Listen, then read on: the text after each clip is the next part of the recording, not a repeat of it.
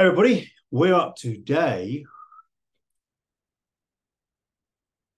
23 on our eighth Christmas calendar countdown.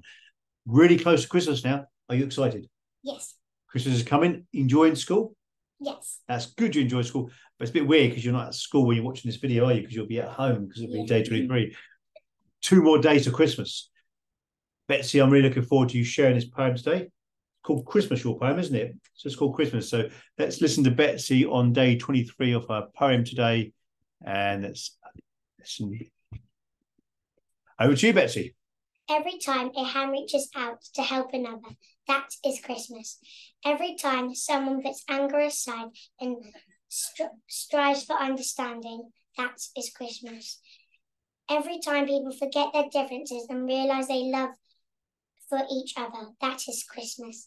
May this Christmas bring us closer to the spirit of whom, human understanding, closer to the blessing of peace.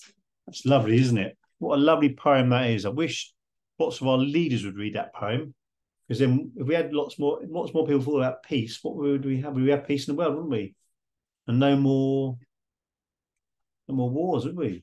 Would you like there to be no more wars? Yes. Do you worry about the wars sometimes going on? because some people don't um some little kids have been sent to different places to live with people um, that are rude and not kind and they uh, they're getting treated really badly Does that make you sad?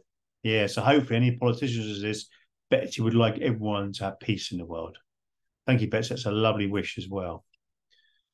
Well done, and we'll see you soon. Bye for now.